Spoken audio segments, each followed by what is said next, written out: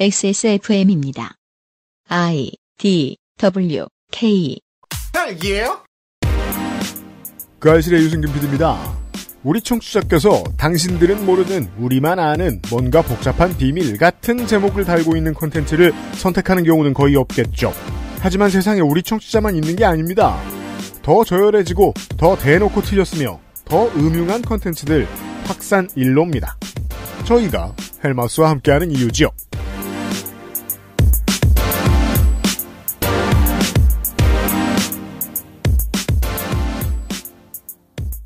12월의 첫 번째 금요일에 그것은 알기 싫답니다. 제 옆에는 윤세민 에디터가 있고요. 네, 안녕하십니까. 윤세민입니다. 네. 우리는 어제, 어, 민트 동맹은 없으면서도 강력하다. 강력하면서도 효과가 없다. 이런, 어느 부분이 강력한 걸까요? 그러게 말입니다. 아니, 왜냐면 누가 자꾸 저 관련된 글도 쓰고 이러니까. 네. 없었, 이런, 없었는데 있었습니다. 네, 여러분들이 원래 몰랐고 저희들만 알았는데 여러분들이 알게 돼서 참 죄송스러워. 어, 이런 내용들을 이야기를 했고요. 아, 근데 너무 네이밍부터가 재밌잖아요. 발상부터 네이밍까지 모든 게 재밌잖아요, 지금. 네, 잠시 후에 헬마우스 코너에서는 민트 동맹 말고 그 전에 좀 더 굳건했던 아, 3인의 동맹 이 사람들 우리의 단골 손님들 다시 한번 만나보도록 하겠습니다. 그것은 알기 싫다는 강력한 체내 흡수율 평산네이처 야왕데이 야왕나이트 아름다운 재단 18 어른 캠페인 나의 마지막 시도 퍼펙트 25 전화영어 원광 디지털대학교 한방건강학과에서 도와주고 있습니다. 인생은 한방. 한의학, 기초 영양학, 식품 위생학, food styling까지 최고의 교수진들이 만든 약선조리 전문가 과정.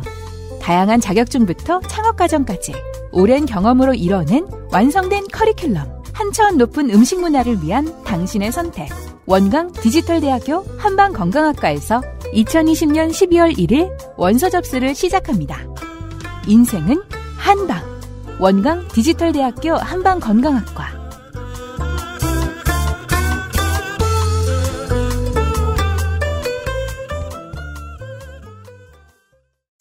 자체 교사 자격 시험을 통과한 선생님들만 수업을 진행하고 적은 학생 수를 유지해 수업의 질이 떨어지지 않는 전화 영어.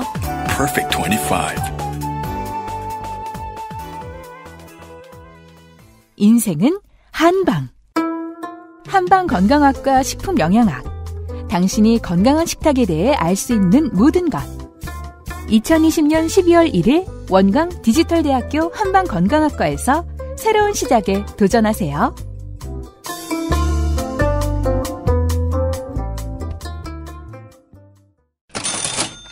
아 한방건강학과 다시 만나서 반갑습니다. 네, 웰컴백. 돌아왔습니다. 찬바람이 불면 찾아오는 신학기 친구, 원강 디지털대 한방건강학과. 얼마나 좋습니까? 팬데믹이고 뭐고 그냥 가서 공부하면 됩니다. 그렇죠. 디지털 대학교니까요. 네. 네. 그 앞으로 더욱더 각광받고 더욱더 확장될 음. 그리고 실제로 요즘 취미 클래스 같은 게 엄청 늘어났죠. 앞으로 점점 더 확장될 방식의 교육 방식입니다. 네, 2021학년도 신입생을 모집합니다. 그렇습니다. 기간은 12월 1일부터 2021년 1월 12일까지입니다. 네, 약선조리 한방 건강의 전문가가 당신도 될 수 있습니다. 그렇습니다. 해당 과목에 대해서는 저희가 말로 뭐 작년에도 짧게 설명을 드렸지만 네, 어 직접 한번 찾아보셔서 면밀하게 살펴보시는 것을 더 추천을 드립니다. 관계자들의 이야기를 들을 때 언제나 가장 재미있는 건 젊은 시절에 여러 가지 이후 이유로 어, 이후의 교육 과정을 생략하셨던 분들이 음, 노년을 맞아 이곳에 들어와서 공부를 얼마나 열심히 하는가에 대한 이야기였습니다. 아 맞습니다. 네. 네. 이미 관심 있으셨, 어, 있으셨던 분들 많이들 지원해 주시고요. 평생 교육의 시대입니다. 네. 동지들 가짜뉴스를 헬로보내 헬마우스입니다. 모멸감을 주고 모욕감을 주고 치가 떨리게 하는 거 거짓말 좀 하지 말란 말이야 이 새끼야 대단한 얘기가 아니에요. 가짜뉴스 만드는 유포자수는 너무 많고 그 새끼를 아무렇게나 만들어도 다 퍼뜨려주고 저 오물들을 치우려면 누군가는 오물통 속에 뛰어들어서 그 오물을 뒤집었을 각오냐 가짜 뉴스 확인 과정. 헬마우스 코너. 팟캐스트 에디션. 자, 밖에서 봤을 땐 이발소 같지만 안에서 만드는 건 음모론. 난이도로 치면은 음. 이 민경욱 전 의원보다는 더 난이도가 높죠. 아무래도 다소 경력도 있고 전문가다 보니까 horizontal vertical laboratory 이야기를 해주시기 위해서 헬마우스님이 다시 돌아왔습니다. 안녕하세요. 헬마우스입니다. 아, 이분들을 지켜보다 보면 이제 심란해지는 것이 네. 예, 우리가 그동안 믿어왔던 것들이 이제 무너지는 걸 느끼게 되는데 음. 한국 사회에서 어, 어떤 사람을 평가할 때 표준 중에 하나로 이제 칭해지는 게 이제 학벌이나 직업인 건데 네. 이분들의 이제 전 직업이 과 학벌 뭐 등등. 어, 등등이 음. 어, 대단하신 분들이었는데 경력이. 예, 경력이 사실 대단한 뭐 지상파 뭐 기자 음. 10년 이상 음. 변호사 음. 국회의원 음흠. 어, 이런 사람들이 이렇게 헛소리를 하고 있으니까 그래서 역설적으로 한국의 기득권 타파에 노력을 하고 있네요. 그러니까요. 그렇죠. 기여를 하고 있네요. 네. 한국의 엘리트와 평범한 시민들 사이의 격차가 별로 없다. 반대일 가능성이 높다. 그렇죠. 네. 그런 걸 보여주는 네, 가로세로 연구소고요. 어, 유튜브계에서 저는 이분들을 이제 음모론 자판기라고 이제 부르는데 좋네요. 누르면 나옵니다. 네. 그리고 많이 만듭니다. 네. 네, 그래서 요즘에 이제 가대현 채널에 가보면 이 이제 썸네일만 보면 음. 이거는 뭐 이제 어, 미국 정치에 굉장히 깊은 관심을 가지고 있는 재미 동포가 운영하는 채널 같습니다. 어 그러네요. 완전 많습니다. 아니 지금 저 썸네일을 보여주셨는데 도배가 돼 있습니다. 야 90%가 트럼프예요. 어, 최근에는 이게 이제 트럼프 코인이 약간 약발이 떨어지면서 네. 예, 다시 이제 그 국내 이슈로 좀 넘어오시긴 했는데 음. 어, 11월 초에는 정말 그야말로 트럼프로 도배가 돼 있었습니다. 음. 그래가지고 어 이거 이 썸네일 중에 보시면 세계 최초 트럼프 당선 확정 발표 이런 게 있거든요. 어디서요? 가세연에서 우와, 진짜요? 가세연에서 이 세계 최초 트럼프 당선 확정 발표라는 그 옆에 써 있는 게 슈퍼컴퓨터 강노무라는 분을 모시고 이제 하셨다는데 이게 뭐냐면 무슨 소리예요 그게? 미국 슈퍼컴퓨터예요? 사람이에요? 이게 너무 웃긴 게 가로세로 연구소가 일종의 방송국을 표방하고 있기 때문에 네. 이게 심지어 미국 대선 어, 개표 방송 실시간 중계 방송입니다. 이 지금 썸네일로 되어 있는 영상이 그 라이브 영상이에요. 그럼 실시간으로 그걸 봤으면서 이겼다는 소리 한다는 거예요? 보세요. 잘 보시면 시간이 4시간 3분이지 않습니까? 네. 그러니까 방송사의 개표 방송처럼 이 사람들이 똑같이 했어요. 아. 그 미국 뭐 CNN이나 이런 뭐 폭스뉴스나 이런 걸 보면서 막 자기들끼리 떠들면서 거기에 이제 초기에 아니 개표- 안타까운 얘기 개표 초반에. 네. 그거를 하루 종일 국감 방송을 하고 있던 저도 바이든이 이길 거라고 맞췄는데 그걸 계속 들여다보면서도 계산을 그렇게 했단 말이에요? 그게 이제 이게 뭐냐면 뭐 물론 이제 세계 최초로 자기들이 트럼프가 이깁니다라고 외쳤는지는 모르겠어요. 그러면 세계 최초로 틀린 거잖아. 와 세계 최초의 오답자라니 명예롭습니다. 어, 그게 이제 이분들의 얄팍한 어떤 세계관, 아, 음. 그리고 얄팍한 사고력, 이런 거를 이제 보여주는 건데, 하여간 이제 요즘 그 가세연에서 하는 주장들의 패턴도 음. 자기들이 그동안 사이로 총선을 향해서 했었던 그 음모론 패턴하고 굉장히 좀 비슷합니다. 아, 네, 그렇죠. 재탕 삼탕이죠. 이 민트 동맹하고 뭐 하는 하고 싶은 말은 특별히 다를 건 없다라고. 특별히 다를 건. 없고, 그리고 이제 네. 가로세로 연구소가 주로 표방하는 건 뭐냐면, 음. 너네들은 모르는 거를 우리는 알고 있다. 음. 우리가 알고 있는 우리들만의 진실이 따로 있다. 이거를 특별히 특별히 당신들한테만 알려주겠다. 맞아요. 이 시혜적 시선 대박입니다. 야, 그러면서 트럼프가 당선됐다. 이게 그리고 굉장히 놀라운 게 네. 어, 현재 저희가 녹음하는 시간은 사실 11월 27일입니다. 네. 음. 네. 근데 지금으로부터 1시간 전에 음. 올라온 여- 영상은 트럼프 승리 확신이에요. 아이고. 아 이거 총선 때 똑같은 걸 했어요. 이래서 다 뒤집어진다고. 그걸 두 달 동안 했으니까. 어, 정말 새로운 세계가 있네요. 트럼프가 지고 나서 심심해가지고 골프도 많이 치러 다니고 그랬잖아요. 아, 골프 승리. 골프에서 이긴 거. 아, 뭐 아. 이긴 사람이 미스, 그러니까 진 사람이 미숫가루 내기 뭐 이런 거 가지고 이겼을 수도 있어요. 싱글 타수가 좀 줄었다 뭐 이런 거. 아, 그럴 수 있죠. 아무튼 그래서 이분들의 이제 패턴이 뭐냐면 사이로 총선 때부터 무슨 숫자를 자꾸 갖고 옵니다. 보통 생각할 만한 일이면 이제 그 헬마우스도 예의를 차려서 어떠어떠한 자료를 내놨다 이렇게 얘기했는데 무슨 숫자 어, 갖고 무슨. 숫자를 갖고 그 왜냐면 그게 자료가 아니거든요. 그게 무슨 숫자를 갖고 와요. 아무 숫자. 어, 아무 숫자는 아니지만 하여튼 그렇게 해석하면 안 되는 숫자를 갖고 옵니다. 네. 트, 미, 럼, 구, 그렇죠, 트 그렇죠. 한 다음에 획수 이렇게 해가지고 이루어질 확률 78% 이런 거 있잖아요. 그렇죠. 아 바이든 트럼프 뭐 이런 어. 거. 네. 민트 동맹의 숫자 버전이죠. 그죠? 네, 그런 트, 거. 민, 럼, 경, 트, 옥한 다음에 자, 그런, 그런, 어, 민트 동맹의 다른 버전. 자, 가세연에서 뭐라고 하는지, 음모론의 어떤 패턴을 보여주는 거를 제가 좀 잘라가지고 가져왔습니다. 일단 들어보신 다음에 이어서 말씀 나눠보시죠. 보죠. 그 미국 대통령 선거 때는 대통령과 부통령만 찍는 게 아니라 일단 연방 상원의원. 찍는, 표, 찍는 주가 3, 3분의 1이고 연방 하원은 무조건 다, 다 찍으니까 네. 당연히 찍고 주지사도 거의 3분의 1을 찍습니다. 네. 그리고 주하원, 주상원 의원 또 찍고 뭐 이렇기 때문에 최소한 8명이고 많은 많은 주에서는 20명까지 찍어야 돼요. 네, 네. 근데 그러면 대통령만 찍고 나머지 후보들을 안 찍는 표가 그러니까 귀찮으니까 그쵸, 그쵸. 아, 대통령만 딱 찍고 나머지 후보들 안 찍는 표가 보통 한 그 표의 21% 정도가 네. 그 된다 그래요. 네, 네. 근데 바이든이 이번에 얻은 표의 네. 34%가 네. 안 찍은 거야. 네, 네, 네. 바이든만 찍고 나머- 나머지 네, 하나도 안 찍었어요. 거야. 왜 그랬겠어요? 네. 표를 만들어놨다고 그쵸, 생각했을 그치. 때 네. 밑에 표를 다 맞추기가 쉽지 않잖아요. 그쵸, 그쵸. 밑에 후보가 하도 다양하기 골치 아파지니까. 되게 골치 아파지니까 네. 음. 아예 만들어 넣어가지고 그냥 바이든만 찍고 많은 걸 그러니까. 하는 식으로 했는데 13%가 늘어났는데 음. 그 13%를 표로 계산하면 천만 표 정도 됩니다. 야 말도 안 돼. 말도 안 되죠. 결론은 잘 내주었는데 일단은 어 방송에 한 뭐한 4, 5년 정도 하면 사실 초짜라고 볼 수 있는데 제가 경력이 길어지니까 이런 말 할 수 있는데 초짜들이 흔히 하는 실수입니다. 어 비염을 잘 컨트롤하지 못합니다. 그게 어 습- 가습기를 틀든 스테로이드를 맞든 뭘 해가지고 그리고 손이라도 자주 씻어야 돼요. 이게 되게 중요한 건데 방송하시는 여러분들 참고하십시오. 그래서 저희는 알렉스를 팝니다. 비염 컨트롤이 잘 안 되고 있고요. 그 다음에 어 대통 그 한 번에 여러 가지를 찍습니다. 맞아요. 어 집 저 뭐냐 그 주의회 의원도 뽑고 주의회 사원도 뽑고 하원도 뽑고 연방 상원도 뽑고 연방 하원도 뽑고 합니다. 아, 저도 이렇게 리액션 해볼게요. 뭐요? 이- 여기 나온 리액션처럼, 방금 음. 들은 리액션처럼. 네. 계속 말씀하시면. 네네네.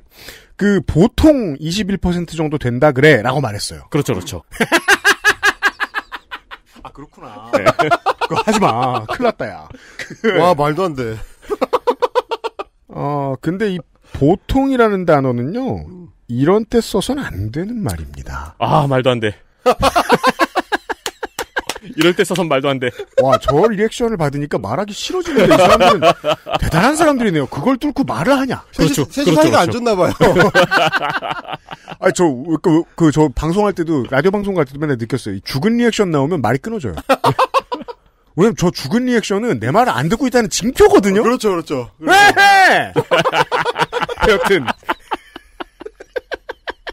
하여튼 자, 이게 잘 들어보시면 네. 제가 아까 왜 숫자 얘기를 한 거냐면 예 예. 실제로 숫자를 사용하는데 좀 전에 이제 말씀해 주셨지만 조금 전에 이 사람들이 이야기를 하면서 숫자가 딱 두 개가 나옵니다. 음. 하나는 21%, 네. 그다음에 34%인데 자 숫자 두 개를 내놓은 다음에 음. 나머지에는 사실 어 팩트와 아무 상관없이 자기들이 하고 싶은 얘기를 그냥 그 중간 중간에 끼워 넣는 역할만 하는 거예요. 봅시다. 예, 실제로 보세요. 자, 투표 용지에는 이제 미국 투표 용지에는 이제 대통령 선거뿐만 아니라 아, 다양한 그 선거를 같이 하게 된다. 상원 의원, 하원 의원, 뭐 주상원, 주하원, 뭐, 뭐 주지사, 검사장, 뭐, 뭐, 예, 예. 검사장 뭐 다 이렇게 해서 음. 20개 정도를 찍어야 되는데 음.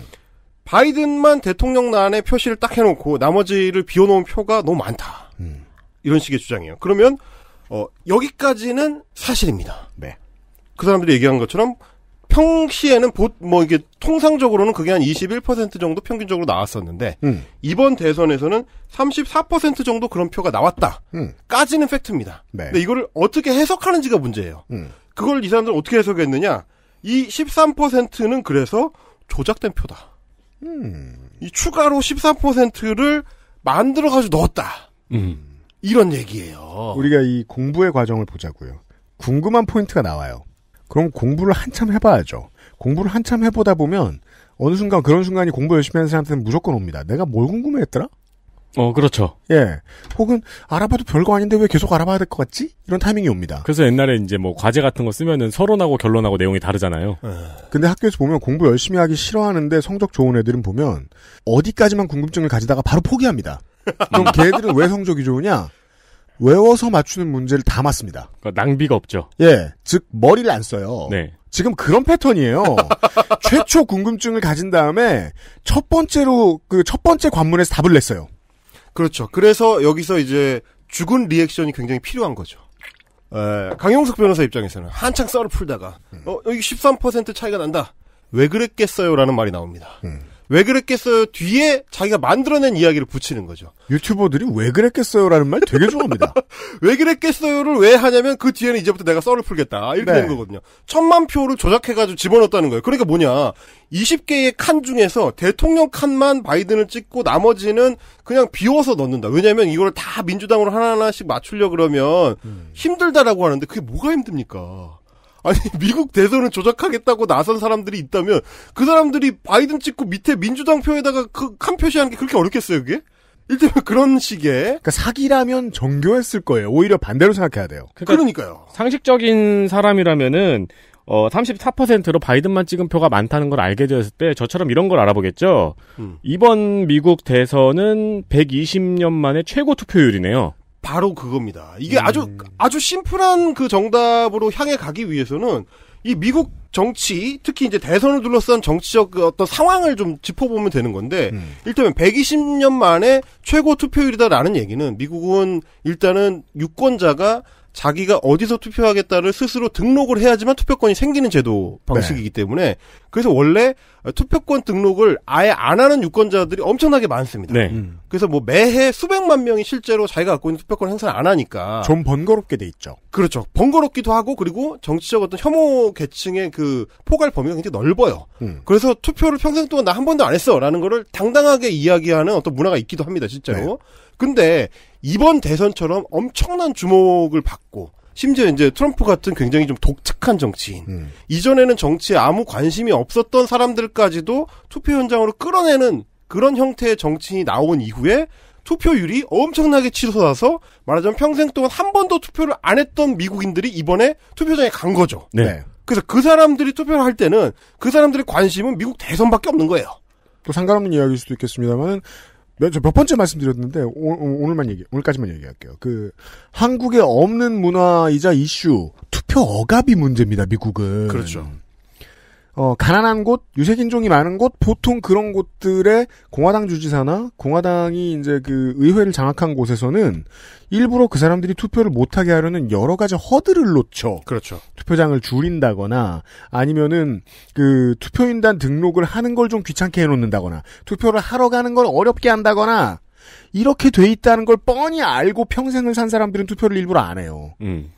나더러 못하게 하는 거지 이러면서 음. 화가 나서 안 하는 경우들도 있어요. 그걸 다 뛰어넘어서 했다고요. 자, 그런 그걸, 사람들 네. 그걸 다 뛰어넘어서 할 만한 이슈를 4년 동안 계속 몰고 있었던 대통령이니까요. 그렇죠. 자, 그런 사람들까지 다 뛰어나와서 한총 골기 투표. 이거는 사실 양쪽 진영을 다 아우릅니다. 그래서, 어, 보면 그 21%의 평균적인 투표 용지가 이번에 34%가 나왔다는 거는 바이든에만 해당되는 게 아닙니다. 트럼프도 똑같아요. 음. 트럼프의 경우에도 마찬가지로 트럼프만 찍고 나머지 칸은 비워둔 표가 엄청나게 많이 나옵니다. 반대 사례들 체크 안 했군요. 의도적으로 숨겼을 가능성도 있어 보이네요. 아 거기까지 공부 안 했을 거예요. 어, 의도적으로 숨긴 혐의가 있는 것이 네. 실제로 말을 하다 보면 언급을 하다 보면 트럼프 표도 뭐 그런 게 있긴 하죠 라면서 넘어갑니다. 아 그래요. 오. 저야말로 공부하다 말았고. 어, 근데 트럼프는 그런 조작 투표 용지가 없다라는 그 결론을 자기들 마음대로 내리고 음. 바이든만 그런 조작 투표를 했다는 거예요. 아니 사실 한국 사람들 입장에서는 1960년에 3.15 부정선거만 해도 그때도 정부 통령을 도, 조작 찍는 선거인데 네. 어, 이승만만 찍고 끝나는 게 아니라 이기붕까지 꼼꼼하게 표시를 해가지고 투표를 투표 용지를 조작하는 바람에 그 난리가 났던 거란 말이죠. 음. 이승만을 인정하는데 이기붕은 아니지 않느냐 해서 난리가 났던 게 한국의 어떤 전통적인 음. 투표 조작하는 어떤 그 skill인 건데 네. 그거를 할 수 있는 사람들이 굳이 바이든만 찍고 밑에 뭐 민주당 Democratic으로 돼 있는 거 그냥 찍으면 되는 거 아니야. 그렇죠. 그걸 안 해가지고 이 사단이 난다. 음. 이런 식의 음모론의 허술함이 이제 가로세로 연구소의 특징 중에 하나예요. 이게 왜 그러냐면 그리고 이왕 조작하려면 민주당 의원한테도 표도 좀 줘야죠. 이왕 조작할 거면. 아니 그거를 그 이제 투표용지를 조작하는 사람들한테 일을 외주를 주는데 바이든만 뭐 하면 되고 뭐 나머지는 뭐 알아서 하세요 이렇게 할 거면 가성비가 너무 떨어지지 않습니까? 이거 이왕 하는 거 민주당 의원들한테 표 좀 주죠. 누가 몇초 안 걸리잖아. 그렇죠. 누가 지갑에 10만 원 있는데 7만 원만 훔쳐갑니까? 개평. 적당하게 대선만 하자. 이게 뭐 무슨 개평이면 나머진 공화당을 다 찍어줬어야 돼. 그러니까요. 그러니까요. 이- 이런 문제. 그러니까 이 사실은 이제 숫자를 가지고 장난을 하려다 보니까 자기들의 부실한 근거를 채우는 걸 음모론으로 메꿀 수밖에 없는 이런 문제인 거거든요. 이게 이제 4.15 총선 부정선거 음모론을 전파할 때도 마찬가지로 소위 말하는 63대 36이라는 음모론을 퍼뜨린 적이 있습니다. 그것도 사전투표함을 개봉을 해봤더니 어, 민주당 쪽은 63 득표율, 63%, 어, 그리고 이제 자유한국당은 36% 득표율이 나오더라. 이런 식의 음모론입니다. 그래서 사전투표함이 뭐 지역을 막론하고 다 이런 패턴을 보이더라. 이런 음모론을 올 4월에 계속 퍼뜨렸어요. 음. 근데 마찬가지로 생각해 보십시오. 굳이 투표 조작을 할 정도의 역량이 있는 사람들이 이걸 난수로 안 하고 왜 규칙을 만들어 가지고 딱 보면 어 이거 좀 이상한데? 라는 생각을 하게 만들 사람이 어디 있습니까? 그렇죠. 이런 식의 음모론이 갖고 있는 어떤 치명적인 약점이라는 게 예, 자기들의 사고방식 내에 이 음모론을 가두려고 하는 거예요. 남들이 그렇죠. 봤을 때는 뭔가 이상하다는 거를 느끼는데 음. 자기들 안에서는 완결된 세계관을 갖고 있어야 되니까 네. 억지로 그게 그 세계관을 구축한 뒤에 현상을 거기에 맞추려고 하다 보니까 이런 문제가 생기는 음. 그런 겁니다. 그래서 이거는 선거 영상 에, 선거가 어떻게 펼쳐졌는지 그 양상만 봐도 답이 뻔히 나오는 건데 네. 어, 특별한 근거가 없이 퍼즐 게임에 이제 가상의 규칙을 만드는 음. 그래서 그 법칙을 계속해서 반복하는 이런 패턴이 이제 가세현의 패턴이다. 네. 라는 거고, 음. 어, 그리고 이제 가로세로 연구소의 선거 부정 음모론을 계속 추적해왔던 사람 입장에서 봤을 때 아주 이번 미국 대선 음모론에서는 신기한 게 하나, 에, 중요한 요소가 하나 빠져 있습니다. 뭡니까? 어, 이제 월터 미베인이라는 사람이 있습니다. 그런 분이 있죠. 아, 그런 분이 있습니다. 네. 아, 시는 분만 아시는. 네. 그 이제 미국 미시건 대학교의 교수님이신데, 그게 이제 그, 어, 아기 최근에 키우는 분들이 들으시면은 그, 음. 저, 아기 용품 카페인가 이렇게 생각할 수 있습니다. 네. 어, 이분이, 네. 어, 이분이 이제 아주 유명해서 많이 나오죠, 어, 이름이? 예, 이분이 이제 자기 전공 분야도 아닌데, 네. 어, 해외의 다른 나라의 부정선거와 관련된 데이터, 부정선거 전문가입니다. 예, 어, 전문가라고 합니다. 전문가라고 스스로를 어, 주장합니다. 주장합니다. 그리고 우리가 말이에요. 어떤 문제에 대한 견해를 고견을 듣는답시고 무슨 교수를 불러옵니다. 음. 그땐 반드시 전공을 보세요. 음, 그- 그분이 예, 투표 음모론 전공자는 아니시고요. 네. 그리고 이제 저희가 이 월터 미베인 교수에 대해서 추적하게 된 게 가로세로 연구소에서 이분을 화상 인터뷰를 했어요. 사일오 wow. 사일오 부정선거를 설파할 때 음. 화상 음모로 아, 화상 인터뷰를 해가지고 월터 미베인 교수가 발표한 논문에 따르면 네. 한국의 사일오 총선에는 아, fraud 음. 부정이 있었다. 부정이 있댄다. 아, 이런 식의 주장을 그때 펼쳤었거든요. 음. 근데 뭐 막상 따져 보니까 음. 어, 미베인 교수가 발표했다는 그것은 일단 논문은 아니고요. 네. 어, 왜냐면 이제 인증을 받은 논문이 아니라 음. 이런 연구를 앞으로 해나가겠다라는 메모의 일종이더라고요. 아, 아? 일단 논문이 아니고 음. 그 다음에는 뭐냐면 내용이 제대로 검증이 안 됩니다. 왜냐하면 이분이 선거 데이터를 와세다 대학의 정훈 교수라는 분한테 받았는데 그분이 네. 아주 이제 깊은 사일오 총선 부정선거 음모론자거든요. 음. 그분이 가공한 아, 한국의 선관위 자료를 받으셔가지고 음. 그 자료를 자기가 개발한 선거 알고리즘에다가 집어넣었더니 음. 뭔가 이상하다. 라는 게 그 메모의 핵심입니다. 네. 그러면 저희는 당연히 궁금하잖아요. 음. 그럼 그 알고리즘에 따르면 이라고 했으니까 네. 알고리즘이 뭐냐? 음. 공개를 해라. 라고 했는데 그 교수님이 공개할 수 없다. 아, 네. 그것은 나만 작동시킬 수 있다. 아, 그 알고리즘은요? 아, 그 알고리즘은 당신들이 봐가지고 잘 모르고 이제 나중에 내가 기회가 되면 공개를 하겠다. 그래서 그 알고리즘을 아무도 모릅니다. 자기만 합니다. 자기만.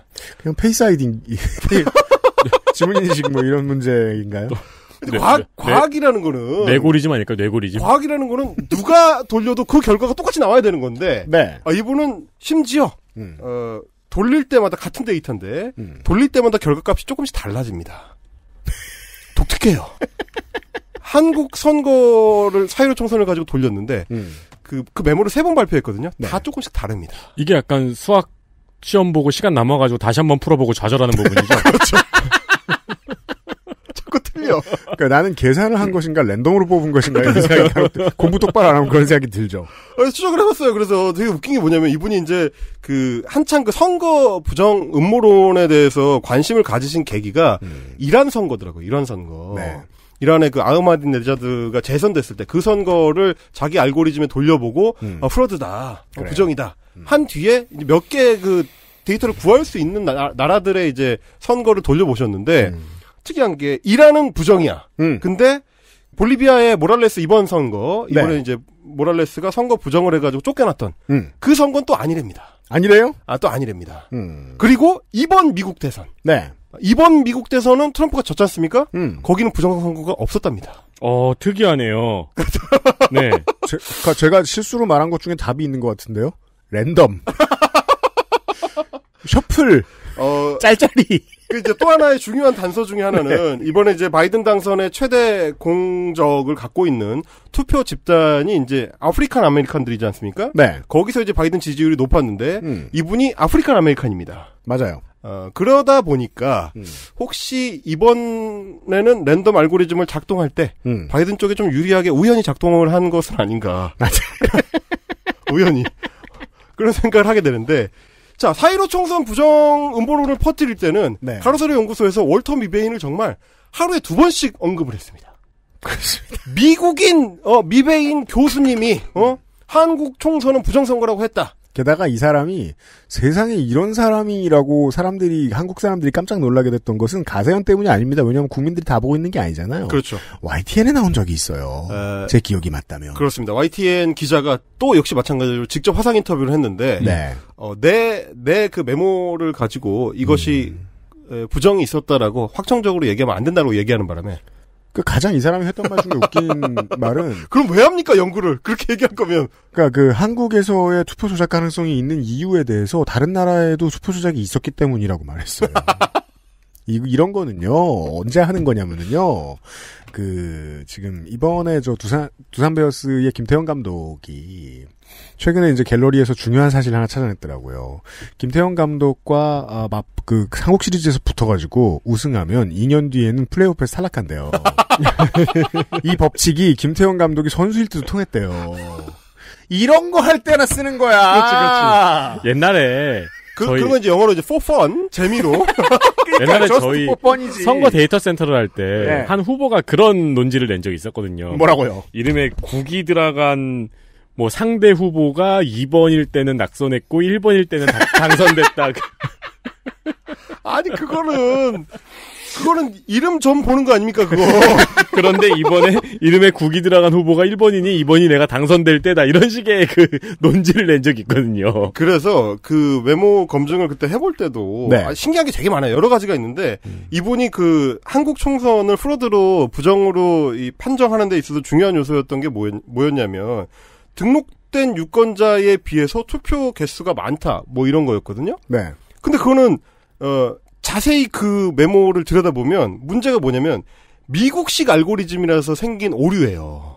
음. 미국에서는 자기가 등록을 하도록 돼 있으니까 유권자가 그래서 그게 정해져 있거든 숫자는. 예. 근데 한국은 사전 투표를 할때 음. 아무 데서나 할 수 있잖아요. 그렇죠. 아무 데서나 하고 결국 그게 개표 현장으로 모이게 되는 시스템인데 잘 모른 거죠. 그 알고리즘 반영이 안 돼 있는 거죠. 왜냐면 자기 미국 사람이니까.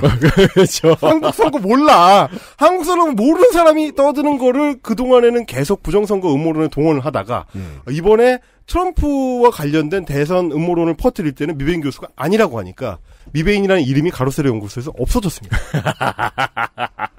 손절. 이 알고리즘은 제가 뭔지 알 것 같아요. 왜냐면 저희가 지금 방송을 녹음하고 있는 이 시점쯤에 보수 언론은 저 라임 옵티머스 얘기를 전혀 안 하기 시작했죠. 그거랑 똑같습니다. 그 알고리즘도 우리가 잘 알고 있는 알고리즘이죠. 이건 알아 우리가. 자, 이렇게 지금 이제 지난 시간하고 합쳐가지고 보시면 미국 대선과 한국 총선 아무 상관이 없을 것 같은 이 두 개의 사건. 음. 어, 미국의 우편 투표와 한국의 사전 투표. 네. 완전히 양상도 다르고 방식도 다르고 전혀 이 상관이 없을 것 같은 이 두 개의 사건이 서로 교차되면서 그러게요. 아무 상관이 없을 것 같은 두 인물이 트럼프와 민경욱이라는 두 인물이 민트 동맹으로 서로 서로를 알아보게 되는 서로 아직은 서로가 아니죠. 그렇죠. 아직은 약간 짝사랑이긴 어, 아직은 하지만 마팔이 아니죠. 마팔은 아닙니다. 계속 멘션을 보내고 있어요. 아, 그래요? 어, 제, 어, 제발 제발 트윗 저, 저, 저 팔로우 좀 해주세요 보내고 있는데 아직은 답이 없는 네. 예, 이런 어떤 우당탕탕 소동극이 페이스북과 유튜브에서 벌어지고 있다. 네. 이런 소식을 어, 전해드리게 됩니다. XSFM입니다. 딸기예요?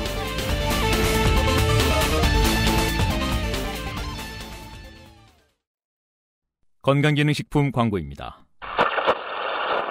오늘도 활력 있는 하루 되세요. 활력은 얼어 죽을 되던 것도 안 되고 멀쩡하던 것도 안 움직이는데 집에 가서 빨래하고 설거지하고 눈 뜨면 내일 아침이야. 밤엔 잠을 자야지. 시간이 무한정 있나? 당신은 시간이 무한정 있어요? 야왕 데이트 어? 야왕 나이트 지친 당신에게 빠르게 활력을 야왕 나이트 평산 네이처? 홀로 어른이 되어야 하는 아이들을 위해 함께 해주세요. 아름다운 재단은 18 어른의 건강한 자립을 응원합니다. 아름다운 재단 18 어른 캠페인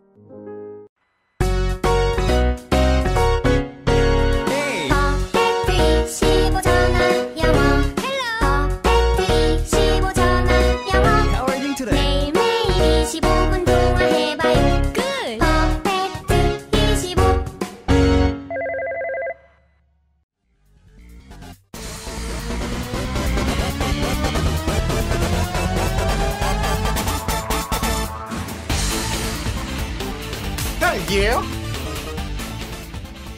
자, 광고를 듣고 왔고요. 이번 주중은 헬마우스 코너입니다. 이 우리 청취자들 중에서도 큐아논이 궁금하다고 하시는 분들이 있었습니다. 근데 제가 이것을 다루지 않은 이유가 이걸 가지고 웃길 자신이 없었거든요. 뭔지는 알겠는데 이거는 웃기지 않으면 우리 컨텐츠를 쓸 수 없다. 저도 진짜 헬마우스가 들고 왔습니다. 의미심장합니다. 이 큐아논. 그 사실은 뭐 웃긴 것도 중요하지만 저는 이제 이게 한국 유튜브랑 무슨 상관이야? 이게 되게 중요하거든요. 그렇죠. 아무렇게나 떠들면 안 되니까 웃기는 거 모아가지고 떠드는 거야. 뭐 다른 팟캐스트에서도 많이 하니까. 네. 헬마우스 코너에서 하려면 이것이 한국과 어떤 상관성이 있어야 되는데. 음. 야 놀랍게도 큐아논이. 네. 큐아논이 한국에 수입됩니다. 지사가 설립이 돼가지고. 어머, 이름- 지사가요? 예, 이게 직구가 아닙니다, 더 이상. 그 직구가 이름만 아니고. 들으면은 뭐 저 화이자처럼 한국 QAnon 이래가지고 뭐 약 만들고 뭐예 팔팔정 이런 거 팔고 이럴 것 같은데 그걸 제가 찾아내서 아 이제 한국 QAnon 지사가 설립됐기 때문에 네. 헬마우스 코너에서도 다뤄도 된다. 음. 네, 오늘 가져와 봤습니다. 네. 그 아시는 분은 아시겠지만 QAnon의 이제 Q는 음. 어 이제 미국에서 Q clearance라고 네.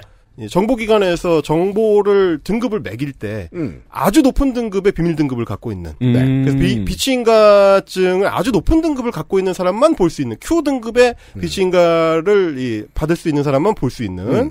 그래서 이제 Q를 가져온 거고요. 네. 이게 왜 Q냐면 이제 지가 음. Q 클리어런스를 갖고 있다라고 주장하는 익명의 누군가가 아, 4채널에 떠들기 시작한 걸로 시작된 겁니다. 그 네. 동네 어, 바보. 어, 네. 동, 동네 바보. 동네 바보인데 큐아논의 신이죠. 그렇죠. 이 사- 큐아논 세계관에서는 이 사람이 신, 거의 이제 말하자면 예레미야입니다, 예레미야. 네. 선지자. 예레미야. 네. 그런 사람입니다. 자기가 미국의 고위 정보국 직원이라고 주장하는 큐가 네. 4채널에 글을 올리다가 음. 요즘에는 이제 4채널에서는 안 먹히니까 8채널로 가셨더라고요, 이분들이. 자기, 자기네 채널 따로 만들고 막 이렇게 되셨어요. 네. 어, 이분들이 만든 건데, 자, 미국에서 창출된 온갖 음모론들이 다 모여 있습니다. 음. 제가 그래서 이름 붙이기는 이, 이것은 음모론의 포켓몬이다. 가라토가스. 그러면 그러면 프리메이슨이 나옵니다. 아, 그거를 총망라 해놓은 거예요? 총망라에 있습니다. 네, 그래서 마, 망나뇽이 일루미나티입니다. 그렇죠. 그러면 걔네들은 일로 일로 이러면서 아니, 돌아다닙니다. 그러면은, 그, 서로 다른 세계관을 하나로 연결을 시켰겠네요? 그래서 큐아논 대각성 지도라는 게 있습니다. 대각성 지도. 제가 좀 대각성 지도. 보고 있긴 합니다. 이 대각성 지도는 심지어 어 24개국 정도의 언어로 번역이 돼 있습니다. 네. 그 처음 보면 겁나 각성됩니다. 야 진짜 별새끼가 다 있다. 어그 각성되죠. 살자. 각성되죠. 어 일종의 니코틴 효과처럼 대각성됩니다. 정신이 번쩍 납니다. 야 잘 살아야 되겠다 진짜. 아직 해야 할 일이 있구나 사회에. 이게 너무 우리가. 세세해가지고, 네. 보기가 어려운데 글씨도 너무 작아요. 그러니까 큰 글씨만 보셔도 대충 어떤 성격인지는 좀 아실 수가 있어요. 네. 어, 보면은 뭐, 뭐 이제 일루미나티, 뭐 deep state, 뭐 이런 것들 몇 개 나오고 은하, 은하 연합. 은하 연합. 제일 재밌었던 게 그 우리 저 국감 때 제가 아침에 CNN을 쳐다보고 있으면서 대본을 정리를 했단 말이에요. 네. 보고 있다가 이게 저 성가비하고 세민이 대본 보다가 갑자기 CNN 화면을 보고 겁나 웃었어요. 네. 트럼프 지지자 모임에 취재를 나간 거예요. 음. 뒤에 어떤 사람이 큐아논 모자 쓰고 있는 거예요. 얼마 안 믿는다고? 큐는 여러분 곁에 있습니다. 아, 이런 건데. 자, 간단히 설명드리면 이렇습니다. 이제 모든 음모론에는 항상 어, 거대한 배후 세력이 있죠. 네, 그렇죠. 사람들은 모르지만 세상을 장악하고 있는 거대한 배후 세력이 이 큐아논 음모론 내에서는 deep state입니다. deep state. 일반 state가 아니고 그러니까 그렇죠. 일반 정부가 아니고 deep한 deep한 곳에 있는 우리는 모르는 진짜 정부, 그림자 정부. 음. 그래서 이게 예전 같으면 이제 일루미나티 세계관이나 뭐 혹은 프리메이슨 어, 비밀 조직이 있다. 그러니까 예를 들어 실권을 쥐고 있으되 가장 그러니까 우리에게 익숙한 요- 이제 익숙한 말은 비선이죠. 그렇죠. 네. 실권을 쥐고 있으되 겉으로 드러나지 않는 비선이 있는 경우들이 있어요. 음. 그러면 보통은 얼마 안 가서 명명백 명명백백히 끄집어내지고 조사를 당하고 욕을 먹고 합니다. 음. 예. 근데 심지어 이 음모론은 신기한 게 뭐냐면 비선이라고 하면서 앞으로 나온 사람만 지목합니다. 저 사람은 deep state의 일원이야라고 하는데 누구나 아는 사람 빌 게이츠거든. 그럼 빌선이죠. 그러니까 그 자- 잘못된 문장. 박근혜는 비선이다. 아니야. 아니라고. 박근혜 선출됐어. 그러니까 그러니까 대통령이잖아. 최순실이 대통령- 비선이지. 대통령인데. 네. 그러니까 이제 deep state의 일원이라고 평가받는 사람들. 그러니까 네. 뒤에서 뒤에서 세계를 조종한다고 평가받는 사람들 혹은 지목된 사람들이 어, 미국 민주당의 유명 인사거나 예를 들면 버락 오바마가 있습니다. 아, 이렇게 제 이 이 대각성 지도체를 윗줄만 좀 말씀드리면 분위기 파악이 되실 것 같아요. 네. 인공지능 신호 본래 그 화살표하고 본래 창조주와 하나 화살표하고 하나 된 무한 창조주 어, 그거 성가비가 제일 좋아하는 스타일에. 화살표하고 윤회에서 탈출 윤회에서 탈출. 화살표 하더니 우주 창조의 미스테리 아니 탈출의 방식 기법으로 윤회가 있단 말이야? 그리고 여기서 화살표에서 근원으로 돌아가기로 가는데요. 이 근원으로 돌아가기는 밑에 동그라미하고 화살표가 이어져 있어요. 거기에는 무지개 몸 티벳 불교 이렇게 써 있네요. 그 큐아논의 유, 유일한 덕성이 뭐냐면 뭡니까? 포용력입니다. 어떤 어떤 거든지 빨아들여요. 자기네 세계관으로 가지고 오는군요. 그렇죠. 거기선 차별이 없습니다. 다르게 얘기하면 팔 수 있는 건 다 가져가는데요. 진짜. 그러니까 내가 몰라도 장사할 수 있으면 다 가져가요. 유명한 건 다 빨아들입니다. 네. 어? 이 지구 내부 문명 이건 지저 세계의 이야기잖아요. 그렇죠, 그렇죠. 지저 세계도 가져왔네요. 아틀란티스도 있습니다. 어. 이거 이 사람이 네이탄 드레이크구만. 아니 이 사람은 뭐 책 쓰면 재밌게 쓰겠는데요? 아 그리고 그리고 이제 Q의 힘이라는 거는 네. Q가 점화를 하긴 했는데 그 불을 옮겨 붙이는 사람들이 한둘이 아니라는 거예요. 음... 이게 이제 대각성 지도가 모이게 된 이유 중에 하나가 이 사람 저 사람이 거기에 계속 주석을 달면서. 그렇죠. 누구나 달 수 있어. 이 포용력이 힘이에요, 이게. 네, 큐무 위키가 됐어요. 자, 그래서 이 deep state의 구성원이 미국 민주당 유명 인사, 예를 들면 버락 오바마, 네. 그리고 국제단체 관련자들, 예를 들면 WHO 사무총장 이런 사람들, 네. 그리고 그리고 왠지 모르겠지만 유명한 사람들, 왠지 유명한 사람들, 헐리우드 스타들입니다. 네. 맞아요. 그래서- 옛날 음모론에는 뭐 어. 마돈나, 마이클 잭슨 꼭 껴있었잖아요. 아, 그게 이겁니다. 그 그걸 가지고 가장 바람직하게 장사를 한 게 한계선. 제가 한계선을 설정해 봅시다. 네. 맨인 블랙 시리즈. 그렇죠. 그렇죠, 그렇죠. 그걸 넘어가서 그렇죠. 진지해지면 큰일 납니다. 그건 픽션이니까 재밌게 볼, for fun으로 볼수 네. 있잖아요. 이건 픽션이 아니라는 거예요, 문제는. 네, 더 네. 소개해 드리고 있어요. 네. 네. 그래서 그래서 이 세계관을 요약하면 그림자 정부가 실질적인 힘을 가지고 세계를 통제하고 있는데 음. 너무 엄청나기 때문에 그래서 금융권, 미디어, 어, 연예인 이런 거를 활용해 가지고 음. 세상을 쥐락펴락한다. 아, 그럼 여기 찾아보면 로스차일드 있을 텐데 분명히. 아, 로스차일드가 조금 이따 나옵니다. 아, 죄송합니다. 설명하다 보면 로스차일드가 안 나올 수가 없어요. 그렇죠. 네. 그래서 이들이 세상을 타락시키기 위해서 어, 타락시켜 가지고 인류의 이 숫자를 절반 이하로 확 줄이려고 한다. 음. 어, 그걸 위해서 만들어진 게 코로나 바이러스입니다. 코로나19가 여기서 음. 여기서 튀어나와가지고 이 사회 통제 시스템을 연습하기 위해서 코로나를 퍼뜨려가지고 사람들이 마스크를 착용하게 한다. 통제하는 거를 연습하는 거죠. 네. 그래서 바이러스에 대한 백신을 개발해가지고 그 백신에다가 뭘 집어넣느냐? RFID를 집어넣습니다. 오! 인식 장치를 집어넣는 거죠. 하이패, 하이패스! 그러면 어떻게 집어넣는지 는 모르겠지만 제 그러니까. 하이패스는 고장났으니까 전 자유예요. 그럼 저는 백신을 네. 맞으면 저 중복 결제돼요 하이패스한테. 그러면은 하이패스 기계가 하나만 하라고 뭐라고 합니다. 아, 기왕 만드는 김에 삼성페이랑 좀 연동이 됐으면 그러니까 좋겠네요. 말이에요. 쉽게. 예. 그런 걸 해서 그 인간 버스 탄 백신입니다. 자, 그렇게 해가지고 사람들을 다 조정을 하려고 한다. 이제 이런 어떤 그 얘기를 하는 건데. 네. 자, 근데 이제 제일 좀 그 신기하고 재밌는 포인트가 뭐냐면 이 지배층의 이제 꼭대기에 음. 완전 지배계층이 있는데 이 사람들은 이제 법의 통제도 안 받아요. 법 위에 있는 사람들인데 음. 이 사람들은 아동 성애와 아동 학대를 일삼으면서 아이들을 제물로 바치는 인신 제사를 이제 지낸다. 음.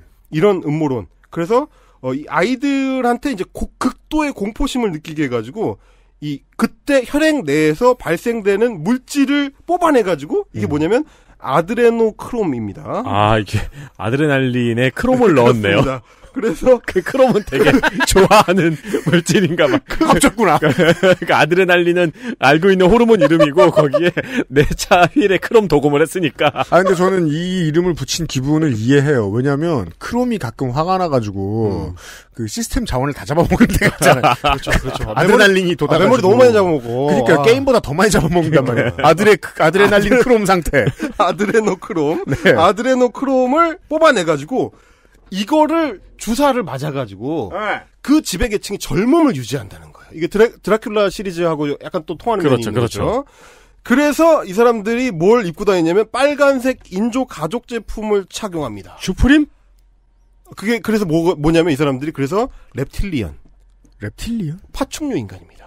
아. 그래서 은하 제국이랑 어떻게 연결되냐면 이 사람들이 외계인입니다. 제가 보니까 미드 V를 애청하신 분이에요. 그니까요. 세상에 이거 V V 나이를 알만하고요 일단. 네, 그렇죠. 그래서 파충류형 외계인인 reptilian에 누가 있냐? 오바마, 브리트니 아이고. 스피어스, 마이클 잭슨, 리하나, 아, 자기들이 아는 사람을 주로 동원하는데, 네. 아, 이분들이 안타깝게도 정치 혐오자들이 많기 때문에 정치인들을 잘 모릅니다. 정치인들을 잘 몰라서 브리트니 스피어스 주로 연예인이에요. 바로 떠오르는 이름. 어, 주로 연예인이고 그 reptilian이라는 증거가 있다면서 네. 그 어떤 사진 캡처나 이런 거를 지금 많이 이제 올려놓는데 음. 어, 이, 이 사람들의 순간 캡처 화면에 보면 눈에 눈동자가 세로로 긴 음. 까만색 눈동자가 그렇죠. 있다. 파충류의 증거다. 근데 제가 봤을 땐 음. 조명입니다. 순간적으로 조명을 받으면 이제 눈이 흔들리잖아요. 그렇죠. 옛날에 그 일루미나티 음모론 중에 그거 있었죠. 저기 카니 웨스트 이마에 조명이 삼각형으로 비춰가지고 이게 일루미나티의 증거라고. 자, 이런 음모론. 그러니까 사실은 이렇게 조사를 하다 보면 도대체 파충류 인간을 진지하게 믿는 사람들하고 우리는 어떤 방식으로 의사소통을 해야 되는가. 과연 어떤 그 타협점을 만들어낼 수가 있을까. 근데 이 세계관은 일단 재미는 있는데 그런데 어, 이 세계관의 차이점이자 문제점은 기존의 음모론이라는 거는 이제 그냥 끝없이 뻗어나가기만 하거든요. 네. 수렴점이 없는 게 기존 음모론의 특징인데 네. 이 큐아논 음모론은 수렴점이 명확하게 있습니다. 도널드 트럼프라는 어머 최종 수렴점을 갖고 있다는 차이점이 있습니다. 네. 이게 이, 이 모든 이 음모론적 세계를 깨부수고 우리를 이 deep state로부터 구원해줄 존재. 구세주가 트럼프다 이겁니다. 그러니까 실제로 아주 현실적인 정신체 혹은 믿음의 근, 또 논리 같은 것들을 상징적으로 드러내주는 표현형 중에 하나입니다, 이게. 그렇죠. 왜냐하면 정말로 트럼프를 찍고 싶은 사람들은 어떤 deep state를 상정하고 어, 우리의 뜻대로 아무것도 안 되게 하는 엘리트들을 상정을 하고 그들로부터의 탈출구, 관료주의로부터의 탈출구, 월스트리트로부터의 탈출구 이걸 도널드 트럼프라고 마음, 마음을 찍어놨거든요. 그렇죠. 그래서 도널드 트럼프의 정치적 성공이 곧 자신들이 영위하는 이 세계관에서의 구원과 연결되는 일종의 정치 종교. 이를 만들어낸 거고. 네. 그래서 이게 아주 그 신기한 음모론인 게, 어, 도널드 트럼프도, 어, 이걸 아주 잘 알고 있는데, 미국 대선 토론을 하는 자리에서, 누가 이제 물어봅니다. 큐아논에 대해서 어떻게 생각하냐.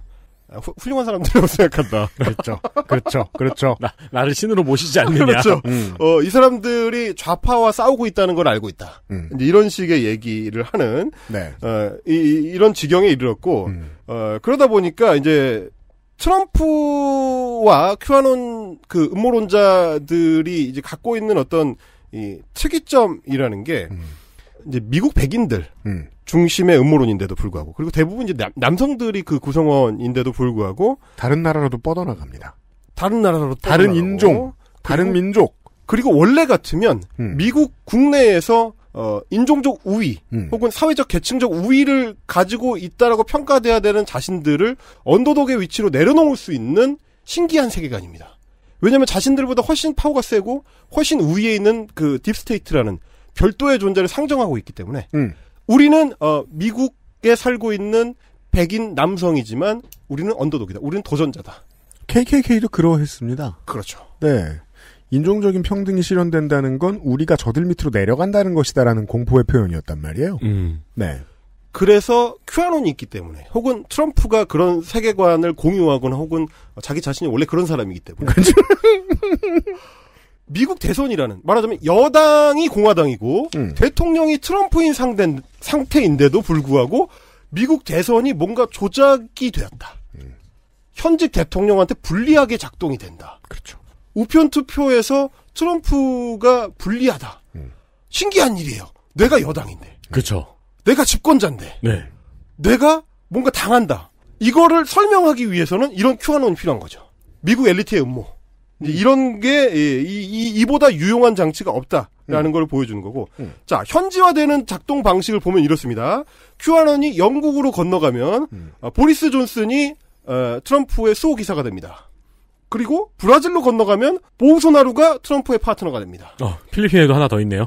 아, 필리핀에도 있죠. 네. 그러니까 두테르테 아저씨가 파트너가 됩니다. 이제 어, 성서가 어떻게 전 세계로 현지화됐는가 이런 게 궁금하잖아요. 네. 사실 이런 건 궁금하지 않단 말입니다. 어, 아니 그냥 성서의 뜻대로 보고 이렇게 따르는 신도들이 있다는 것은 좋은 일이지만 종교인들이 있다는 것은 좋은 일이지만 정광훈도 있거든요. 음. 현지화된 이상한 상품들도 존재합니다. 언제나. 그, 그 현지화가 한국에서 됐을 때 그렇죠. 스피커 스튜디오라는 요정 세계를 잘 모르시는 생활인들은 평생 들어볼 일이 없는 앞으로도 사실 들어볼 필요가 없는 그런 유튜브 계정과 만나게 됩니다. 이 음. 유튜브 계정은 현재 영구 정지가 돼서 아 그래요. 유튜브에 다시는 돌아올 수 없습니다. 음. 아, 그렇지만 이분이 계정이 날아가기 직전에 유튜브 구독자가 26만 명이었고요. 아 그래요? 무려 음. 26만 명이고 음. 에, 그야말로 이제 내용들을 보면 음모론 유튜버가 이제 정체성이에요. 음. 어, 뭐 썸네일 보면 그렇습니다. deep state, 음. 일루미나티, 음. 뭐 이런 거. 네. 그러다가 그러다가 살짝 커브를 던지면 문재앙이 나옵니다. 그렇죠. 어, 한국에서 장사를 해야 되니까. 그러니까 이런 식당들의 가장 큰 문제점이 그거예요. 메뉴판은 많은데 뭘 골라도 같은 게 나옵니다. 그럼 그냥 만두만 판다고 써놔 솔직히. 나, 는 제육볶음을 시켰고 앞에 앉은 순두부찌개를 시켰는데 아무리 봐도 같은 게 나온 거예요. 제육하고 순두부하고 버무려진 이상한 게 나온 거야. 그러니까 제육 아래를 처음에 열어봅니다. 순수한 마음으로 두부가 있을 거야. 그리고 분명히 아주머니가 한, 냄, 한 후라이팬에서 더는 걸 봤는데 다른 메뉴래요. 그래서 스피커 스튜디오 영상을 보면 덴버 국제공항의 그 말상, 그 음. 굉장히 좀 특이하게 생긴 그 말상이 네. 일루미나티의 음모다라고 시작을 했는데, 어 그냥 그건 브론코 상인데. 예, 그렇죠. 여튼간에 좀 이렇게 뭐 이렇게 유쾌하게 생기진 않았지만 뭐 그걸 쪼개고 마징가가 나오거나 그렇지는 않잖아요. 네. 근데 이제 그걸로 덴버 국제공항으로 시작을 했다가 네. 문재인 정권의 그 산사태 음모론 끝납니다. 태양광 발전 시설을 너무 많이 만들어가지고 산사태가 일어났다. 헐. 아, 이런 식으로 끝나는 음모론자인데 네. 아, 이 덴버 에어포트의 이 저 bronco는 실제 정식 명칭은 Blue Mustang이네요. 어, 이름 이름 간지났는데. 이게 눈에 저 빛납니다. 예, 네. 빨간 눈, 파란, 오. 네, 파란 빛이. 아무튼 이쁘게 생겼어요. 제가 보기엔. 여튼. 음모론하고 말하자면 우파코인을 동시에 쟁취하겠다. 네. 이런 전략을 갖고 있는 유튜브 채널이어서 헬마우스 채널에서도 한번 다룬 적이 있습니다. 근데 음. 특히 눈에 띄는 대목이 네. 큐아논 중에서도 한국 사람들이 음. 그리고 소위 우파 유튜버들이 뭘 좋아할까를 따- 따질 때 네. 한국인들은 어느 부분을 내재화할까를 엿볼 수가 있는 대목이 있어요. 이게 재밌는 장사죠. 장사랑 다 똑같습니다. 많이 던져서 들어가는 쪽을 살려요. 그러니까요. 음. 이게 되게 재밌는 게 어, 대각성 지도, 큐아논 대각성 지도의 그 수많은 구성 요소 중에서 음. 하필 이 한국판 큐아논이 뭘 뽑아냈느냐 하면 대표적인 게 유태인 학살, 그 홀로코스트 음모론입니다. 오. 그게 장사가 된다고 파악을 했던 것 같아요. 음. 그래서 어, 오늘 좀 보여드릴게. 일단 안네 일기는 가짜다. 이게 참 극우의 재미있는 지점이고 저는 이것이 영원히 변하지 않을 거라고 봅니다. 음. 무고한 희생자가 다수 나오는 것을 음모론으로 뒤집는 걸 영원히 좋아합니다. 세월호에 대해서 그랬었던 것처럼 이 마찬가지의 음모론을 펼치는데 이 사람 주장은 이겁니다. 이제 안네 프랑크의 아버지 오토 프랑크하고 어떤 소설가 둘이서 꾸며낸 얘기가 안네 일기라는 책이다. 음. 실제 일기가 아니다.라는 소위 이제 서프라이즈 음모론이죠. 들어보시죠. 소녀의 아버지인 오토 프랑크는 딸아이가 겪은 비극이라고 주장되는 이 책의 로열티로부터 거금을 벌어들였습니다. 감정에 대한 직접적인 호소력으로 인해 이 책과 영화는 말 그대로 전 세계에 걸쳐 수백만 명의 사람들의 심금을 울렸고 이런 류의 이야기들 가운데서도 안내일기의 영향력은 단연 독보적이었습니다. 그런데 실은 첫 출판이 있고 불과 7년 후에 이 책에 대한 소송이 제기되었으며 뉴욕 대법원 판결에 따라 결국 안내일기의 모든 이야기가 조작된 것임이 판명됩니다. 저렇게 침착한 목소리로 헛소리를 하는데 저 채널의 셀링 포인트 중에 하나가 저거예요. 깔끔한 깔끔한 톤으로 이 되게 침착하게 얘기합니다. 이것도 그동안의 학습에 의해서 어, 발전된 거예요. 아 그렇죠. 이게 목에 가래 아 하는 말투로 하는 것보다 훨씬 더 호소력 있다는 걸 이걸 안 거 아니에요. 그렇죠.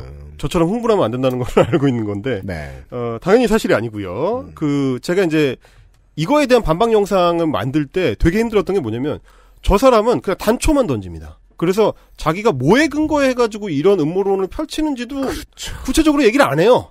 공격 포인트를 안 주죠. 그냥 가짜라고 하고 이게 아버지가 꾸며낸 이야기다. 이제 이런 식의 얘기만 해서 그러면 저는 근거가 없어요. 어 그럼 저는 이제 어디서부터 시작을 해야 되냐면 아 이 음모론이 원형이 뭔지를 찾아가는 것부터 시작을 해야 돼요. 네.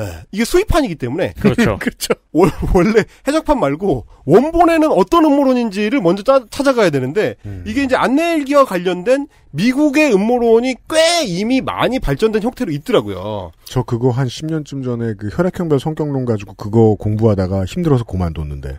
아니 너무 피곤해. 그 안네일기 음모론은 사실 저도 옛날부터 봐- 종종 봐왔던 거거든요. 그러니까 그렇죠. 예, 왜 학교 앞에서 파는 책 같은 거 있잖아요. 아니 아, 세상에 예. 이런 일이 류의 책들 그런 거 보면은 그 이런 일루미나티 음모론, 뭐 프리메이슨 음모론 그런 거에 안네일기 음모론이 종종 섞여 있었어요. 아 그걸 심지어 한국에서는 지상파 방송에서 방송을 했습니다. 땡프라이즈? 땡프라이즈에서 아이고. 이, 이 관련된 기사가 혹시 있나 찾아봤는데 기사가 딱 두 개 나오거든요. 둘다 서프라이즈를 이제 요약해 놓은 연예 기사입니다. 연예 찌라시 기사. Holy. 주 없어요. 서프라이즈 내용은. 네, 그거밖에 없어요. 근데 하여튼 그래서 요거를 찾아 나서다 보면은 자 뉴욕 대법원 판결에 의해서 가짜라는 게 판명 났다라고 했으니까 네. 그놈의 뉴욕 대법원 판결이 뭔지를 찾아봐야 되는데 주 대법원 기록을 봐야죠. 그래가지고 Find a Case라는 그 사이트가 있더라고요. 아, 네, 네. 그러면 그, 그 미국 사이트인데 거기 가면 이제 그 주요한 판례들을 몇 개를 모아놨습니다. 음. 그 중에 1957년 음. 네 마이어 레빈 vs 오토 프랑크 음. 사건이 있어요. 아, 이름은 찾았네요. 실제로 있어요. 음. 그래서 어떤 내용인지를 봤습니다. 그러면 안네의 일기가 가짜라는 꾸며진 이야기라는 내용을 판결한 건지를 봤는데 음. 그 책에 대한 소송이 아닙니다. 아니겠죠. 어, 일단 아니고 네. 뭐에 대한 소송이냐면 안네의 일기 책을 기반해 가지고 연극을 만들었는데 음. 그 연극의 대본의 저작권과 관련된 소송입니다. 그러니까 인간은 살다 보면 종종 소송을 거니까요. 아, 그러니까요. 네. 그저 사람이 한 말 중에 사실은 뭐냐면 뉴욕 대법원의 판결문이 있다. 음. 그리고 그거는 어, 아버지인 오토 프랑크와 관련이 있다. 이두 가지밖에 없어요. 실제로는 안네 프랑크 안네의 일기가 이제 미국에 번역돼서 소개될 때 그 마이어 레빈이라는 작가가 그 신문에 서평을 썼는데 네. 그게 상당히 호응이 좋았다고 합니다. 그래서 이제 판매에도 상당히 뭐 영향을 미쳤다라고 자기가 이제 판단을 해서 네. 아버지인 오토 프랑크가 미국으로 건너오기 전에 미리 좀 편지를 써가지고 이걸 내가 어, 연극으로 대본화를 해서 음. 브로드웨이에 올리면 네. 그만큼 이제 안네의 비극이 더 이제 많은 사람들이 알게 되는데 도움이 되지 않겠냐 음. 이런 식의 편지를 써서 오토 프랑크가 뭐 그럼 해봐라 해서 이제 대본을 썼답니다. 네. 가족들한테 보여줬는데 좀 안 맞다. 음. 어, 그렇죠. 이, 이- 이건 안 맞을 것 같다. 그래서 그거는 이제 파기를 하고 다른 사람들이 대본을 써가지고 연극을 상연을 했는데 음. 그랬더니 내 연극 대본을 표절했다. 라면서 소송을 건 겁니다. 아하. 그래서 아, 심지어 일부 승소를 또 했어요. 음. 네, 거기까지만 사실이고 음. 이게 안네 일기가 어, 팩트냐 아니냐 실제로 존재했느냐 아니냐랑은 아무 상관이 없는 이런 기법은 그냥 요즘 저 우리나라의 보수 언론도 일상적으로 많이 동원하는 이야기입니다. 그렇죠. 예. 네. 애매하긴 하네요. 그 오토 프랑크가 오토 프랑크가 쓴 거죠. 오토 프랑크 측에서 쓴 대본이 대법원에서 졌다. 그렇죠. 라는 걸 가지고 이렇게 꼬울 수 있는 거군요. 심지어 오토 프랑크가 쓴 것도 아니에요. 또딴쓴 거. 해켓이라는 저 연극 작가가 또 따로 있더라고요. 그것도 어떻게 하셨어요? 그, 그 판결문 나옵니다. 이런 것도 또저저 뭐냐 이런 음모론자들은 쳐봐가지고 안 되면 뭐 병 병장 회의 같은 것도 만들어내고 그럴 그랬겠죠. 의도는 분명하거든요. 이런 게 뭐 저 팩트 체크를 하려 고 그러면 어렵지만. 그러니까 사실은 이게 이 유타인 학살을 부정하려는 흐름이라는 게 보통은 이런 식입니다. 안내 일기 같은 어떤 상징물을 훼손하려 하려고 하는 거. 맞아요. 네. 예를 이게 들면 가장 적당한 표현이에요. 상징물을 훼손하려 그래요. 그 국정농단 사건에서 JTBC의 태블릿 PC를 훼손하면 국정농단 사건 전체를 무너뜨릴 수 있다고 하는 착각. 평행 우주에서 안내 일기가 사실이 아니라고 하더라도 학살이 없어지는 게 아니잖아요. 그렇습니다. 그렇지만 이걸 주장하고 싶어하는 음모론자들은 실제로 그 주장도 하고 싶어해요. 자, 그거랑 똑같은 방식으로 이 우리 이제 스피커 스튜디오가 이 비슷한 방식으로 또 다른 그 딴지 걸기를 하는 게 있습니다. 이 600만 명이 학살됐다라고 하는 유태인 중에 600만 명이 전쟁 중에 학살됐다라고 하는 주장. 이거는 과장된 거다. 그러면서 자료까지 제시를 하는 그 장면입니다. 일단 들어보시죠. 독일의 통제하에 제거했다고 주장되는 유대인의 수가 결코 600만 명이 될 수 없는 것이죠. 또 한 가지의 명백한 증거가 있습니다. 전후 세계 유대인 인구 통계 자료를 보면 진실을 도출할 수 있습니다. 1933년도 세계 영감에 나와 있는 전 세계 유대인들의 수는 모두 1531만 명이었습니다. 그런데 전쟁이 끝난 후인 1948년 2월 22일자 뉴욕타임즈에 따르면 전 세계 유대인들의 수는 최소 1575만 명에서 최대 1870만 명에 이르는 것으로 보도되었습니다. 이러한 숫자들만 놓고 보자면 전쟁 기간 동안 유대인의 수의 증감이 거의 없거나 희생자는 600만 명이 아닌 몇천 명이었을 수도 있단 말이 되는 것이죠. 즉, 600만 명이나 희생되었다는 주장을 사실이라고 받아들이기에는 무리가 있는 것입니다. 물론 여기에도 단점을 찾아내면 찾을 수 있지만 그래도 발전이 있는 것이 어, 말투에서 바로 이게 헛소리임을 찾아낼 만한 증거가 현저히 줄어들었어요. 그리고 숫자가 계속 나오잖아요. 점점 고급화됩니다. 네. 최근에 MBN이 그 김주아 앵커 말투의 김주아 앵커를 만들어냈죠. 이, 이, 이, 이- 이렇게 봐가지고는 뭐를? 그러니까요. 네. 어. 자, 이 숫자들이 막 나열이 되고 실제 유튜브 영상에서는 그 숫자를 담고 있는 표가 제시가 됩니다. 음. 그러다 보니까 유튜브 영상만 보는 사람들, 보통 사람들 입장에서는 바로 반박을 하기가 쉽지가 않아요. 이걸 다 찾아봐야 되는 거니까. 네. 저 사람 제시하고 있는 저 자료가 팩트가 아니라는 사실을 증명하는 데서부터 시작해야 되니까 음. 평범한 사람들 입장에서는 영상을 보고 에이씨 뭔 소리야라고 지나갈 게 아니면 네. 영향을 받을 수밖에 없어요 저게. 음. 그러다 보니까 저 같은 사람이 이제 나와서 굳이 찾아보는 거죠. 음. 자, 1933년도의 그 인구 자료와 네. 그때 세계 유대인의 인구 자료와 음. 1948년의 인구 자료를 비교해 보니까 음. 어 오히려 유대인 인구가 늘어났다. 네. 그러니까 전쟁 중에 600만 명이나 죽었다는 거는 사실일 수가 없다. 그렇게 많이 죽었다면 이렇게 급하게 회복할 수가 없다. 음. 이런 식의 주장을 펼치는 건데 네. 저 거를 이제 찾아보다 보니까 저 데이터 관련된 싸움이 이미, 이미 미국이나 유럽에서는 엄청나게 많이 나와가지고 이미 정리된 자료가 다 나와 있더라고요. 그렇죠. 한국에는 없어요. 왜냐면 한국 사람들은 실제로는 별로 관심이 없었으니까. 이거 가지고 싸워본 적이 없으니까. 네, 그거, 그게 거짓말일 거라고 누구도 생각을 안 하니까. 음. 근데 이런 사람들이 이제 수입을 해오면서 저 영상이 엄청나게 퍼지고 있어서 문제가 되는 거거든요. 네. 봤는데, 자, 세계 연감이라는 자료가 뭐냐면, 음. 어, 더 월드 알마약이라는 책이 있습니다. 네. 어, 찾아보니까 이게 무슨 공식 통계 자료로 나오는 책은 아니고. 아, 그래요? 네. 이게 이제 민간 출판사에서 내는 책이에요. 매년, 어, 올해는 이런 일이 있었습니다. 자료는 이런 게 있고요. 라는 아, 거를 네.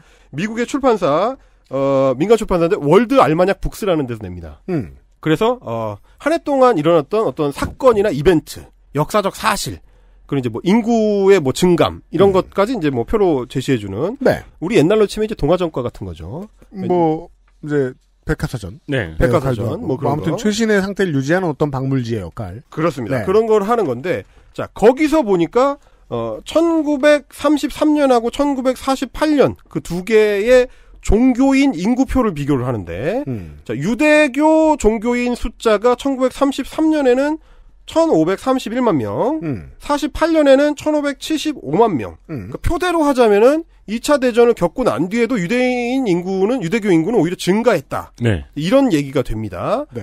그래서 그 사람이 제시한 표를 저도 찾아봤어요. 똑같은 표가 아주 쉽게 나옵니다. 뭐죠?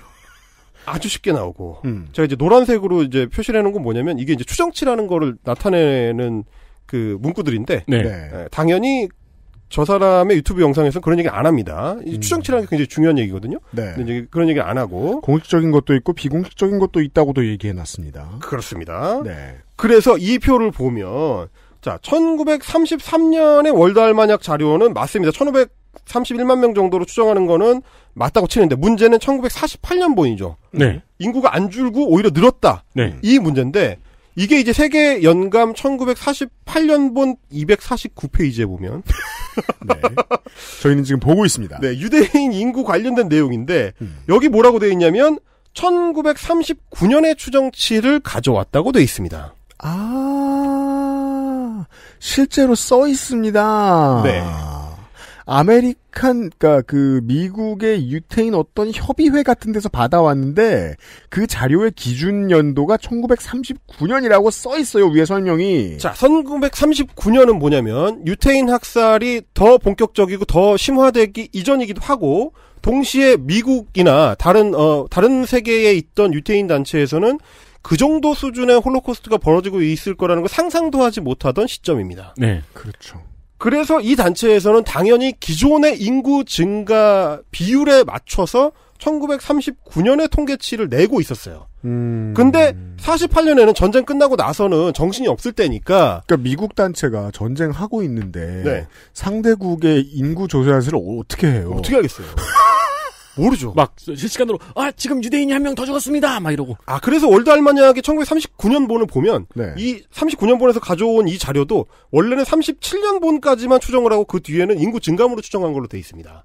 즉 이때는 모르는 상황이에요. 모르는 거예요. 전쟁 이후에 어떤 상황이었는지를 모르는 상태로 추정한 거를 48년 본에서는 그냥 그대로 갖다 쓴 거죠. 그러니까 이게 그대로 뉴욕타임즈에 인용돼가지고 보도가 되니까 유대인 단체들에서 항의 서한이 엄청 들어갔습니다. 음. 그래서 1949년 세계 영감에서는 이 데이터를 수정합니다. 마지막으로 틀린 게 48년도인데 그렇죠. 이걸 가져왔다 이 유튜버쟁이가 그렇습니다. 정확히는 이 유튜버쟁이가 가져왔다기보다는 미국 음모론자들이 미국 음모론자들이 만든 거죠. 아, 네, 요거 그래요. 돌리면서 노는 거를 가져왔겠죠. 그렇죠. 네. 그래서 그 49년본에 보면은 아예 1939년의 유태인 인구와 1947년의 유태인 인구를 비교하는 표를 굳이 넣어놨습니다.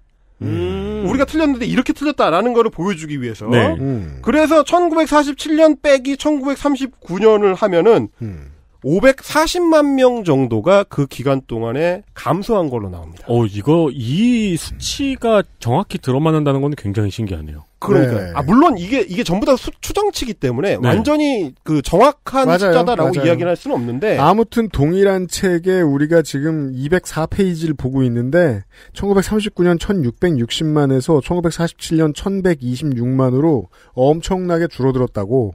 그러니까 그러니까 이제 이게 말하자면 뭐 600만 명 학살설에 오히려 이제 뒷받침을 하는 데이터이기도 한 셈인데 네. 그러네요. 이거를 교묘하게 조작을 해가지고 두 개를 이어 붙여 놓으면은 음. 유태인 학살이 실제로는 별로 없었거나 거의 존재하지 않았다는 식의 음모론 창출이 가능한 거고 그거를 우파 유튜버들이 한국으로 지금 직수입을 해가지고 퍼뜨리고 있는 판이다 음. 이런 건데 제가 이걸 계속 추적을 해가지고 원전이 나왔네요. 세계 영감의 239페이지를 뒤지고 있을 때 음. 그런 생각이 드는 겁니다. 아니 내가 이걸 왜 하고 있어야 되나? 그러니까 다 했는데. 하다 보니까 저도 함정에 빠진 거를 알게 되는 거예요. 사실은 48년의 숫자가 얼마냐 하는 거는 홀로코스트 음모론에서 사실은 진짜 핵심이 아니거든요. 말하자면 아까 말씀드렸던 안네 프랑크의 일기를 훼손하려고 하는 상징 훼손 시도 혹은 유태인 학살에 정확한 숫자가 있다고 억지 가정을 해놓고 그 숫자의 디테일이 틀렸다라고 주장하는 음모론. 이것도 마찬가지입니다. 이거는 말하자면 홀로코스트라는 처참한 사건 자체를 부정하려고 할 때 그 네. 사건을 통으로 부정하기가 어려우니까 상징 훼손이나 디테일 훼손만 해낼 수 있다면 흠집을 낼 수만 있다면 그 흠집에서부터 벌려 들어가는 식의 맞아요. 시도가 가능하다. 왜 우리 중에 이상한 이웃이나 이상한 회사 동료 보면은 처음에는 들어줄 수 있는 부탁을 하다가 나중에 돈 빌려가고 잠수 타죠? 맞습니다. 예. 처음에는 들어드릴, 들어줄 만한 소리를 하는데 처음에 들어줄 말도 이렇게 헛소리를 하고요. 예, 예.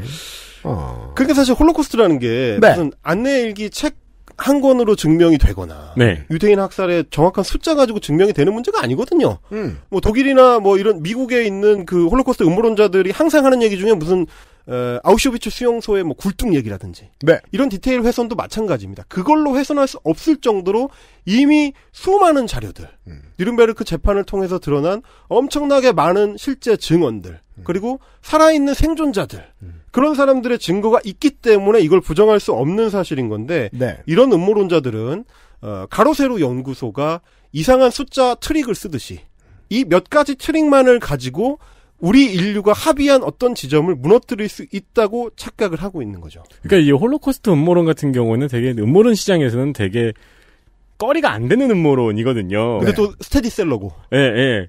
이, 왜냐면은, 이, 사실, 솔직히 이런 식으로 가면은, 일본에서 원자폭탄이 터진 적이 없다는 말도 할 수 있잖아요. 그렇죠. 음, 맞아요. 그래서 이제 뭐 이 채널 같은 경우 스피커 채널 같은 경우는 유튜브의 제재를 받아서 날라갔고요. 네. 아, 심지어 제가 그때 이 홀로코스트 음모론을 영상을 제작하려고 네. 구글 드라이브에서 작업을 하지 않습니까? 음. 그럼 이제 싱크를 맞추기 위해서 음성 싱크를 맞추기 위해서 예, 유튜브 링크를 이제 하이퍼링크를 해놔요. 네. 근데 작업을 하다가 놔두고 이어서 작업을 하려고 들어갔는데 음. 구글 드라이브가 저장이 안 되는 거예요. 오. 문서가 아예. 저장이 안 되는 거예요. 좀 깜짝 놀랐어요. 이게 무슨 처음에는 컴퓨터가 이상한 줄 알았어요. 저장이 안 되는 거예요. 근데 알고 봤더니 홀로코스트 음모론 때문에 이 채널이 제재를 받으니까 이거와 연동돼 있는 다른 문서들, 구글의 다른 문서들도 작동을 안 하게 만들어 놓은 거예요. 그렇군요. 엄청 신기하더라고요. 아. 그러면서 동시에 무슨 생각이 들었냐면 아니 구글 이 새끼들 할 수 있으면서 생각해보면 그 정도는 단호해야죠. 그러니까 예. 그러니까 이게 말하자면 그동안은 그런 생각을 했었어요. 홀로코스트 음모론 관련해서 구글의 제재는 엄청나게 강력하기로 유명합니다. 영어 유튜브 채널들은 살아남을 수가 없어요. 다 날아갑니다. 근데 스- 스피커 채널처럼 한국어로 하니까 조금이나 버- 버텼군요. 얼른 못 찾아냈구나라고 생각을 했어요. 네. 근데 결국 찾아내잖아. 그러면 한국어로 하더라도 한글로 떠들더라도 얘네들이 걸러낼 수 있다는 얘기가 되는데 네. 그동안은 왜 헬마우스 채널을 통해서 제가 계속해서 5.18과 관련된 가짜뉴스를 퍼뜨리는 거나 4.3 사건과 관련된 가짜뉴스를 퍼뜨리는 거는 피해자가 엄연히 있는 역사 왜곡이고 수정주의니까 이 부분은 유튜브가 명확하게 제재를 시작해야 된다라고 주구장창 얘기했는데 그때는 한국어라서 알고리즘에 안 걸린다고 해놓고 홀로코스트는 왜 걸리냐 이거예요. 양인의 경험을 기반으로 한 철학의 베이스를 두고 있기 때문이지요. 아, 근데 저는 예. 약간 지금 이 살펴보고 놀랬던 게, 네. 그, 말씀하신 걸 듣고, 어, 그냥 서프라이즈류구나 싶었는데, 음. 사람들이 서프라이즈를 좋아하고, 저도 음모론 굉장히 좋아하거든요. 음. 그리고 사람들이 서프라이즈를 좋아하는 거는 서프라이즈를 보는 사람들이 전부 다 그걸 믿기 때문이 아니잖아요. 그렇죠. 그냥 오락 프로그램으로서 재미가 있어가지고 보는 거잖아요. 그래서 음. 얼핏 들었을 때는 그런 채널인가 싶었는데, 반응들을 보니까 사람들이 믿네요? 진짜예요. 저는 아침에 서프라이즈 보고 있을 때가 가장 괴로워요. 근데 제가 틀었을 리가 없잖아요? 어디 뭐 놀러 갔을 때나 사람들이랑 뭐 놀러 갔을 때 네. 아침에 서프라이즈 보고 있으면 정말 집에 가고 싶어서 환장해요. 저는 되게 재밌게 보거든요. 어, 근데 저는 정말 피라미드 그- 음모론 이런 거 재밌잖아요. 예. 이 피부 안 좋은 사람이 직사광선 받는 것 같은 기분이 들어요. 예, 솔직히 두려워요. 누가 이걸 진지하게 보고 있을까봐. 저는 막 달 뒷면 음모론 이런 거 되게 재밌게 보거든요. 저는 심지어 그게 직업입니다. 그런데 이제 뭐 채널이 제재를 받으니까 최근에는 그 페이스북으로 옮겼더라고요. 어, 아. 페이스북에는 안 걸러내나 봐요. 그래서 페이스북으로 옮겨서 거기서도 영상 올리고 하는데 아 열정이 예전만 못합니다. 그렇죠. 바로 돈이 안 되잖아요. 수익 구조가 바뀌었잖아요. 아 그렇죠. 돈이 안 되니까. 아 이분들 참 신기합니다. 항상 유튜브 영상을 만들 때는 네. 강렬한 사명감, 음. 자신의 열정을 피력하면서 그렇죠. 그래서 여러분이 도와주셔야 된다 이렇게 외치는데 수익 구조가 망가지면 네. 그 열정이 급격하게 식습니다. 아주 신기한 분들이에요. 하여튼 네. 그래서 제가 이제 이분의 이 역사 수정주의 네. 이거를 퍼뜨리는 것도 이제 문제지만 음. 이게 결국은 이제 아까 말씀드렸던 큐아논하고 한국 음모론이 어떻게 만나는가를. 그니까 말이에요. 예, 음. 이게 재미를 연결고리를 해서 혹은 신기한 이야기를 연결고리해서 처음에 만난 다음에 결국에 가는 방향은 어, 트럼프 만만세로 가거나 문재앙 죽어라로 가거나 네. 뭐 이런 식의 이제 맞습니다. 이 패턴을 보이는 거. 음. 그래서 잘 보면 큐아논에서도 차이나 게이트 얘기 많이 나옵니다. 그렇죠. 예, 중국 음모로 많이 나오고요. 음. 그리고 큐아논 사람들이 가장 많이 인용하는 방송 중에 하나가 러시아의 RT 방송이라고 이제 분석이 나왔는데 아. 어, 말하자면 한국의 그 음모론자들이 신화통신을 많이 인용하는 음. 네, 그런 거라고 볼 수 있겠습니다. 어, 그리고 이제 코로나 백신 RFID 음모론도 한국 유튜브 채널에 아주 지금 성황리에 유통이 되고 있습니다. 아. 네. 그리고 이제 마스크 음모론도 마찬가지로 제가 제가 얘기하잖아요. 이거 네. 단호하게 처리하지 못하면 한국이 지금 겪고 있는 이 배워서 메이저 언론사 들어간 이 자식들이 백신 음모론 퍼뜨리고 있는 이런 상황까지 맞을 수 있어요. 그렇습니다. 인류의 생존을 위협합니다. 그렇습니다. 그래서 네. 제가 항상 그 유튜브에서도 목 놓아 외치는 것이 방역은 선제적이어야 된다. 이 방역을 선제적으로 하지 않으면 진짜로요. 어, 생태계 교란종들이 예. 세관을 뚫고 들어옵니다. 저 이거 너무 무서워요, 진짜. 이 백신 때문에 이번에 정말 정말 많이 느꼈습니다. 실제로 그 독감 백신 접종률이 이번에 한 낮아졌습니다. 10% 정도 떨어졌다는 얘기가 있을 정도니까. 이러면은 이 사회 전체의 백신 저 뭐냐 면역이 무너진 상태라고 봐야 됩니다. 실존적 위협 앞에 이제 서 있다는 생각을 하면서 언론 때문에 건강이 나빠졌다니까요. 바로 미치겠어요. 예. 네. 그래서 세관을 강화하자. 네. 와 동시에 어, 미국 그 유튜브에도 외칩니다. 아, 니네 것만 걸리지 말고 우리 것도 좀 같이 걸러라. 그러게 말입니다. 그런 말씀을 드리고 싶습니다. 음. 그 사실 이제 트럼프는 물론하지만 음. AD 5년이 AD 4년에서 끝나지 않고 AD 5년이 왔을 때 트럼프의 영향력은 더 커져 있거나 어. 그대로일 겁니다. 우리가 그와 완전히 이별할 수 있을까? 네. 에, 그거를 좀 고민해보는 시간을 가져보고 싶었고요. 네. 그 이미 트럼프가 뿌려놓은 민들레 호씨들이 음. 전 세계 만방으로 퍼져서 그렇죠. 일부는 지금 한국의 콘크리트 사이에 끼어가지고 꽃을 피우고 있는 상황이기 때문에 네. 그럼요. 에, 이 세관에서 걸러내는 게 실패했다면 음. 어, 이제라도 방역 조치에 우리가 나서야 된다라고 이제 생각을 하면서 그러니까 말이에요. 방송을 만들어봤습니다. 여기까지 하겠습니다. 어, 우리가 그 지난주 모럴 컴뱃 시간에 네. 깍두기 얘기했잖아요. 동네에 그 아이들이 하고 노는 놀이의 룰을 깨뜨리는 미친놈이 있습니다. 음. 근데 걔가 그 그때 혼나지 않으면 계속 놀이의 룰이 깨져요. 그래서 모두가 반칙을 쓰죠. 그 동네 전체에. 네. 그랬다가 그게 옆 동네로 퍼지면 아무도 이유도 모르고 룰이 망가집니다.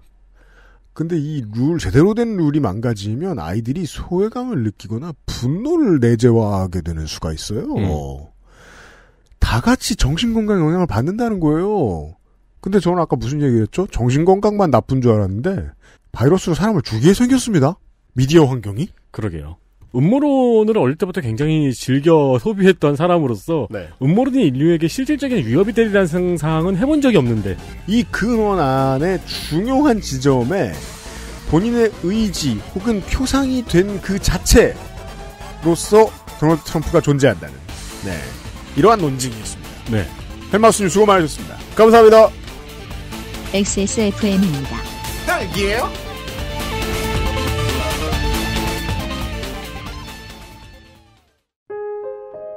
뭔가 그곳을 떠난다는 게 되게 믿기지가 않았거든요. 반평생보다 더 많이 자랐는데 갑자기 떠나게 된다니까 믿기지도 않았고. 여러분의 독립은 몇 살이었나요? 보육원의 아이들은 만 18세가 되면 시설을 나와 홀로 살아가야 합니다. 어른이 되기는 아직 이른 나이. 곁에 아무도 없다면 그것은 자립이 아니라 고립입니다. 18. 홀로 어른이 되어야 하는 아이들을 위해 함께 해주세요. 아름다운 재단은 18 어른의 건강한 자립을 응원합니다. 아름다운 재단 18 어른 캠페인. 건강기능식품 광고입니다. 야왕 데이트 에? 뭐요? 야왕 나이트 효소 반응 공정 ECS 공모 에? 그게 무슨... 야왕 데이트 야왕 나이트 평산 네이처? 금요일에 그것은 알기 싫다를 마무리합니다. 나가는 길에 한 가지 알려드리고요. 영문도 모르고 방송 후기를 적은 다음에 선물을 받는 분들이 덜어 생기고 있습니다. 그렇습니다. 왜냐하면 저희가 선물은 그 확보해서 드렸는데 어, 바빠서 까먹고 공지를 안 했거든요. 공지도 안 하고 생색을 내는데 실패해 왔습니다 한동안. 선물부터 드리는. 그래서 저 지금도 귀찮아서 그냥 넘어갈까 하다가 말씀드리는데요. 그 방송과 관련된 후기를 뭐 소셜도 좋고 메일도 좋고 그 적어주시는 분들이 있는데 저희가 뭐 요구 드린 적도 없잖아요. 네. 네. 아 이분들께 선물을 준비했습니다. 왜냐면 저희가 상대적으로 잘 지내잖아요. 네. 그래서 우리끼리만 잘 지내지 말고 뭔가 보내드리려고 준비를 했습니다. 커피 비노에서 더치 커피를 일단 보내드리고 있고요. 그렇습니다. 네. 만약에 그게 모자란다. 그러면은 그 XSFM 관현호 티셔츠라도 보내드리겠습니다. 음, 네. 이 목이 졸려서 정신이 번쩍 드는 선물을 보내드리고 있습니다. 아, 방송에 소개된 후기들. 네. 어, 커피 비노에서 도와주시고 있습니다. 그렇습니다. 네. 그러니까 많이 보내달라고는 연락 안 드리, 말씀 안 드릴게요.